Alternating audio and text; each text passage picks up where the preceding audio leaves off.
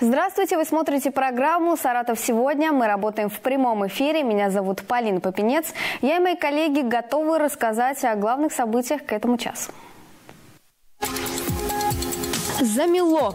Устал уже, устал. Никому ничего не надо. Жители сел не смогли выйти из дома из-за снега. Кто и как помогает региону с расчисткой. Люди тоже ходят, беспокоятся, смотрят на это. В Елшанке на время прекратили кладку из-за погоды. На какой стадии объект сейчас? Листовка с ДТП. В ходе общения с вами инспектор был вежлив, объективен, тактичен. Да. Автоинспекторы провели акцию для водителей и напомнили о безопасности. Какая температура на дворе ждет нас в среду 30 января на Антона Перезимника? Расскажу вам я, Александр Новохадский. Не переключайтесь.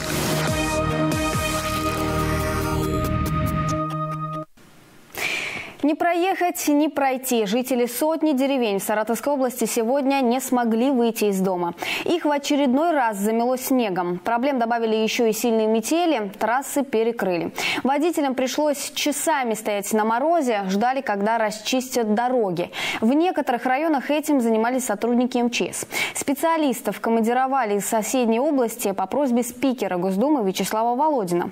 Роман Базан узнал, откуда еще прибудет помощь. В Саратове снега буквально по колено. В районах ситуация не лучше. Около сотни сел, деревень и городков. Столько населенных пунктов оказались отрезаны от внешнего мира. Причина – снегопад, непогода не перестает удивлять. Во многих районах не ходит общественный транспорт, дороги занесены, автомобили застревают. Ночью в регион прибыла первая помощь. Из Самары были направлены сотрудники МЧС с техникой. Помогают расчищать федеральные и региональные трассы. Фуры, которые увязли в глубоком снегу, вытаскивали с помощью БТР. А сегодня днем количество сотрудников МЧС выросло.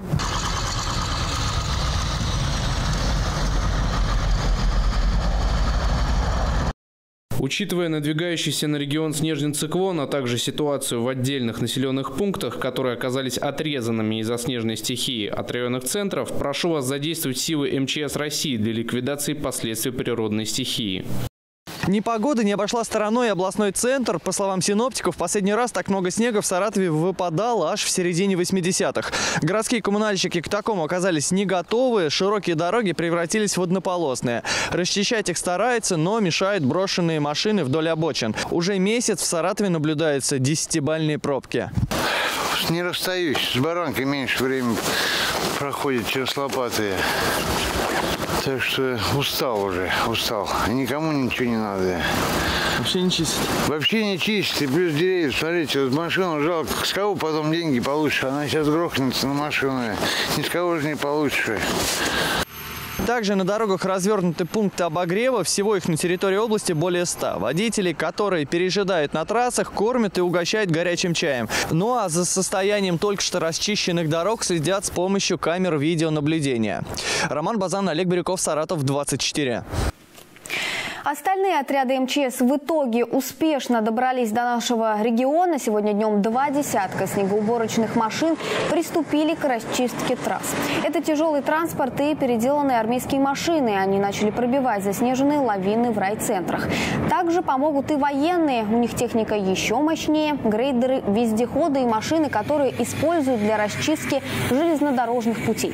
Бороться с последствиями снегопада помогают и пензенские военнослужащие. Сегодня Сегодня в наш город приехали самосвалы, самосвалы, погрузчики и грейдер. Работать будут и днем, и ночью. На всех федеральных автодорогах Саратовской области снято ограничение движения для всех видов автотранспорта. Главное управление и подведомственные учреждения в режиме повышенной готовности. Развернут штаб по контролю за складывающейся обстановкой. Ночью в Красноармейском муниципальном районе на трассе федерального значения Р-228 был развернут городок первоочередного жизнеобеспечения от областной службы спасения. И в продолжении темы в областном правительстве сегодня прошел брифинг заместителя председателя губернатора Романа Бусаргина. Он рассказал журналистам о сложившейся ситуации в нашем регионе. Еще раз отметил, что за декабрь-январь выпало рекордное количество снега. Сейчас в регионе работает 1200 единиц снегоуборочной техники. Пришла помощь от федерального МЧС и Министерства обороны. Работа выполняется. Я надеюсь, что на протяжении двух дней вот это напряжение и подъезды к населенным пунктам мы обеспечим. Соответственно, о введении режима чрезвычайной ситуации э, на сегодняшний момент говорить преждевременно. Еще раз подчеркиваю. Чрезвычайной ситуации на территории Саратовской области нет.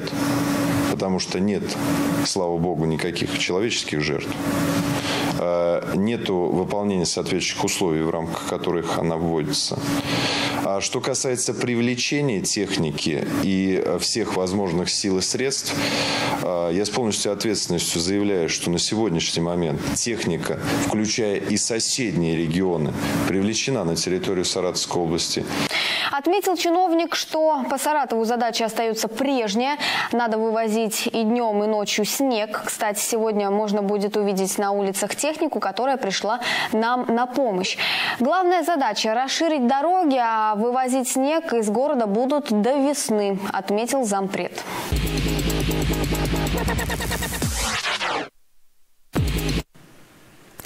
Из-за морозов строительство дома в Елшанке было приостановлено. Несколько дней не велась кладка. Сейчас работы продолжились.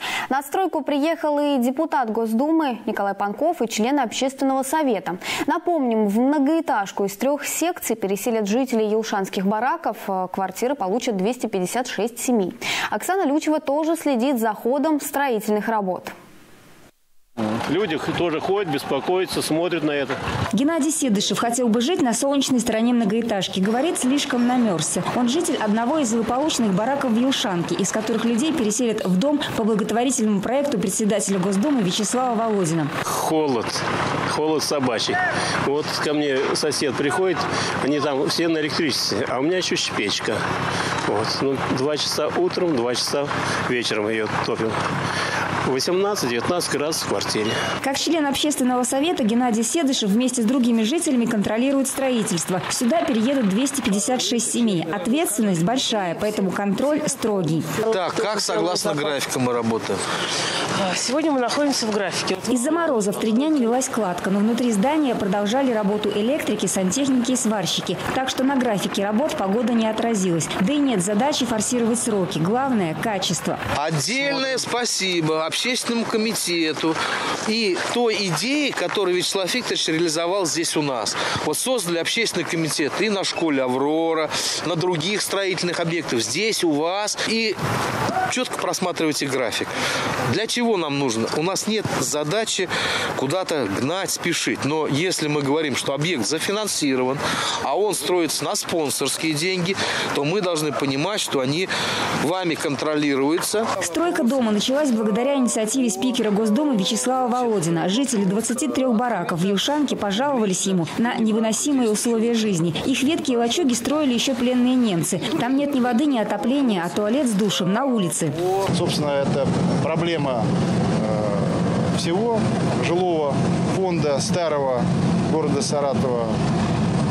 Ветхость конечно, что касается Елшанки, мы постараемся этот вопрос решить за счет вот дома, который у нас на благотворительные средства сейчас строится. Жители говорят, что вступили в Новый год с новыми надеждами. Помимо дома в Юшанке реализуется еще ряд проектов Вячеслава Володина. Среди них комплексное благоустройство поселка и реконструкция гимназии. Оксана Лючева, Максим Пустовалов, Саратов, 24. Напомнили о безопасности в городе и за его пределами. Сотрудники областной автоинспекции провели очередную акцию для всех автолюбителей. Она была направлена на пропаганду соблюдения правил дорожного движения и профилактику дорожно-транспортных происшествий. Инспекторы раздавали водителям памятки с фотографиями аварий, чтобы всегда помнили, чем чревато нарушение правил. В рейд с инспекторами отправилась Анна Забалуева. Сегодня на въезде в город в районе Гусельского моста сотрудники госавтоинспекции провели акцию «Соблюдай ПДД, не рискуй жизнью». Акция направлена на пропаганду соблюдения правил дорожного движения и профилактику дорожно-транспортных происшествий, в том числе на автодорогах вне населенных пунктов. Сегодня мы вышли с такой необычной акцией, чтобы призвать водителей, которые выезжают на дальние расстояния, не рисковать жизнью и соблюдать правила дорожного движения. Зачастую именно дорожно-транспортные происшествия, которые произошли на автодорогах вне населенных пунктов, пунктах уносит жизни. Поэтому мы призываем быть очень внимательными, очень осторожными и, конечно же, не выезжать в такие погодные условия на автодороге вне населенных пунктах. Сотрудники ГИБДД вручили водителям памятки с фотографиями дорожно-транспортных происшествий, произошедших в январе 2019 года, в которых погибли люди. Также на листовках размещена статистика аварий по итогам 2018 года. Кроме того, водителям напомнили о безопасности на автодорогах вне населенных пунктов. По мнению сотрудников ГИБДД, ГИБДД такие меры эффективнее всего действуют на автолюбителей и помогают предотвратить как минимум 10-15 аварий, произошедших по неосторожности или невнимательности водителя. Помимо этого, контрольно-профилактический отдел проводит анкетирование водителей, чтобы узнать, довольны ли автолюбители работой сотрудников госавтоинспекции и получали ли от них предложения о взятках. Как правило, о нарушениях водители сообщают анонимно. В ходе общения с вами инспектор был вежлив, объективен, тактичен? Да. Вообще сейчас молодые ребята очень приятные. Хорошо общаются, это да. хорошо. Сегодняшняя акция показала, что жалоб нет, все водители довольны, все хорошо, претензий госавтоинспекции нет. А вообще поступают жалобы вам? Ну вот сколько мы проводили анкетирование, в рамках анкетирования водители не жалуются. А так э, в госавтоинспекцию жалобы на действия инспекторов поступают. По словам сотрудников ГИБДД, каждый день в городе происходит около 100 аварий. Из них в среднем 3 с пострадавшими. Сотрудники госавтоинспекции ежедневно проводят различные мероприятия, помогающие уменьшить количество ДТП. Но самой действенной мерой все так же остается соблюдение правил дорожного движения. Анна Забалуева, Роман Шевченко. Шильдяев, Саратов, 24. Подробнее о погоде в нашем регионе расскажет Александр Новохадский сразу после небольшой рекламы. Оставайтесь с нами.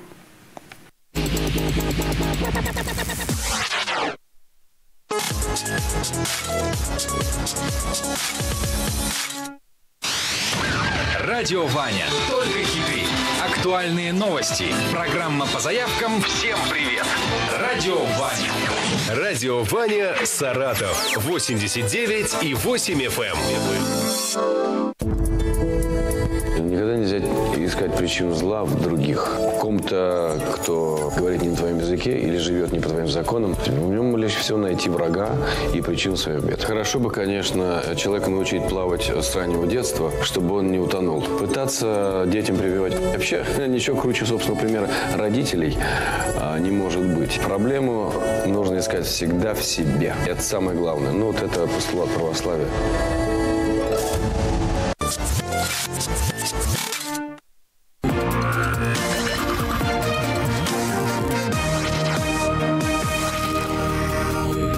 Генеральный спонсор прогноза погоды – сельскохозяйственный кооператив «Гарант Кредит» поможет сохранить и приумножить ваши сбережения. Просто, выгодно, надежно. Телефон в Саратове 708 444.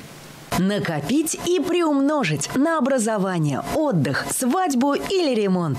В честь 15-летия принимаем сбережения под 15% годовых на 15 месяцев.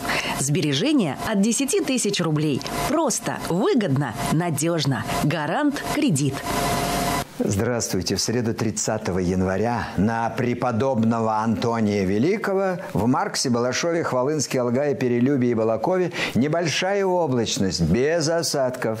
Ветер северо-западный с переходом на юго-восточный, порывистый. Днем до минус 7, а вот ночью до минус 19. 4 февраля по многочисленным просьбам жителей Саратова Лаптев Андрей Викторович проводит авторский тренинг «Я страстно хочу похудеть проверить. Информация на сайте докторлаптев.ру. В Саратове и Энгельсе снег маловероятен. Температура днем до 10 градусов, а ночью до 16 ниже 0. Атмосферное давление около 762 миллиметров ртутного столба. Подмечено, что если в этот день случались оттепели, а следом за ними приходили сильные морозы. Салон меха, госпожа Метелица, поздравляет вас с Новым годом и Рождеством. Приглашает вас за шикарными шубами, модными дубленками, а также новинками, теплыми пуховиками и актуальными в этом сезоне парками. Кредит, рассрочка и скидки. Салон меха, госпожа Метелица на Степана Разина, 54. Всем всего доброго. Берегите себя. Увидимся. Госпожа Метелица. Здесь вас ждет огромный выбор шуб и дубленок и скидки до 30%. Добро пожаловать в царство меха. Улица Степана Разина, 54. Действует кредит.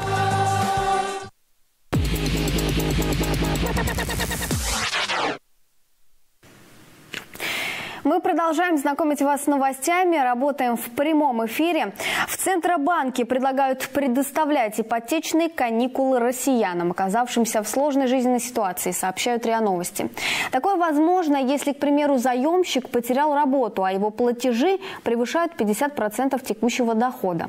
Освободиться от выплат можно будет максимум на год, при этом каждый отдельно взятый отдых не может длиться более 6 месяцев.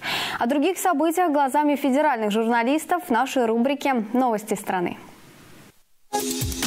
Школах нужны специальные уроки, посвященные раннему материнству. Об этом заявила заместитель председателя Комитета Госдумы по вопросам семьи, женщин и детей Оксана Пушкина. Информация появилась на сайте агентства «Москва». По словам депутата, работа должна быть комплексной с участием психологов, педагогов и родителей. А вот чему именно будут учить молодых матерей на таких занятиях не уточняется.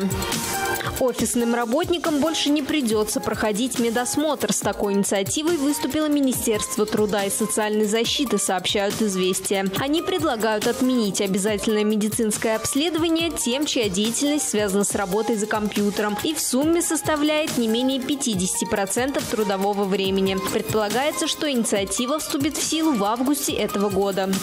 Ты что, я сейчас тебя уволю. Я тебе сказал, и за языком следи. Вы обсуждали, кого в компании, кого не Топ-менеджера Росгеологии Руслана Горинга уволили за матерное видео и просьбу стучать. Об этом сообщает ТАСС. Напомним, в сети появилось видео, где Горинг играет в онлайн-игру и в нецензурных выражениях общается с подчиненной. Он объясняет женщине, что ее основная задача на работе – стучать. А после этого он попросил женщину рассказать другим игрокам о том, как уволил ее, но потом вернул на работу. Министерство труда разрабатывает новую потребительскую корзину для россиян. С учетом добавленных продуктов она станет полезнее, но дороже на 30%. Специалисты предложили внести изменения в питание граждан. Они считают, что в новый рацион россиян необходимо добавить на 5% больше мяса, на 16% рыбы, на 14% творога и яиц, а также на 11% птицы. Потребительскую корзину должны обновить к 2020 2021 году и с учетом роста цен она станет дороже. Также специалисты определят и прожиточный минимум. Напомним, что вокруг потребительской корзины в Саратове возник скандал. Экс-министр труда и занятости Саратовской области Наталья Соколова рассказала, как можно питаться на прожиточный минимум в 3500 рублей в месяц. После чиновника уволили.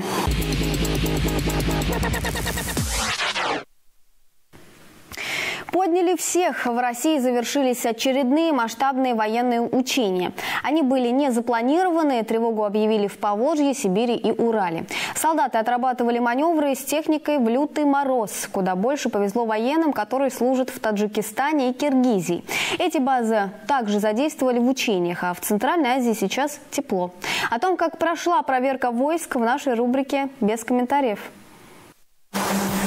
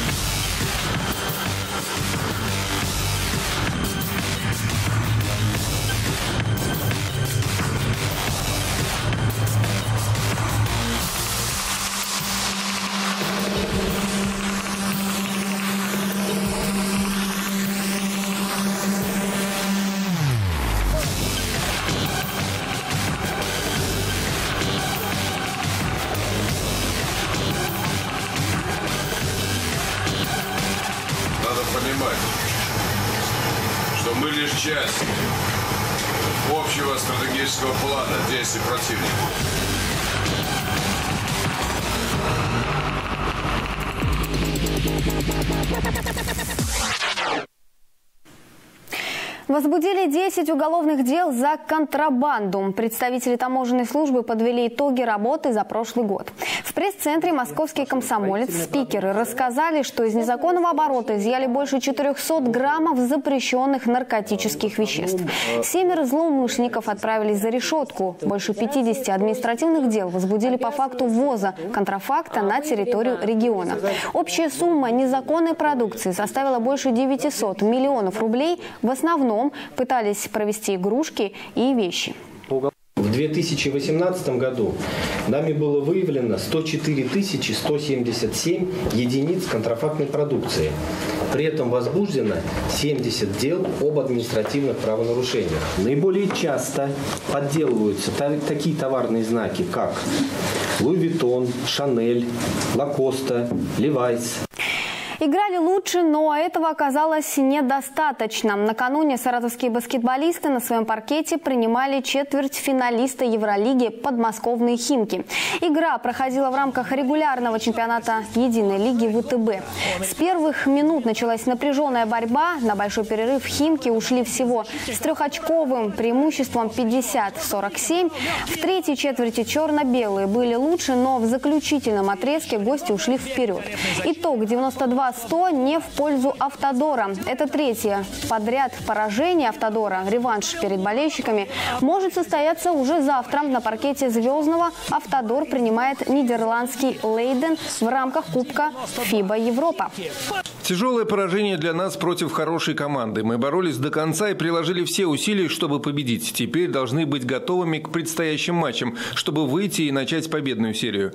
Мы вновь показали, что у нас очень хорошее качество игры в нападении. Мы способны набирать более 90 очков против любой команды, даже уровня Евролиги. Но у нас по-прежнему много проблем в защите. Нельзя выиграть такой матч, когда пропускаешь 100 очков. Теперь мы должны идти дальше и начать готовиться к очень важному домашнему поединку против Лейдена уже в среду. И к этому часу все. Еще больше новостей смотрите на нашем сайте saratov24.tv. Я же с вами прощаюсь. Всего доброго. Требуются рабочие бригады. Работа в Твери. Крупнейший застройщик Тверской ДСК. Достойная официальная зарплата. Звоните 8 920 697 9807.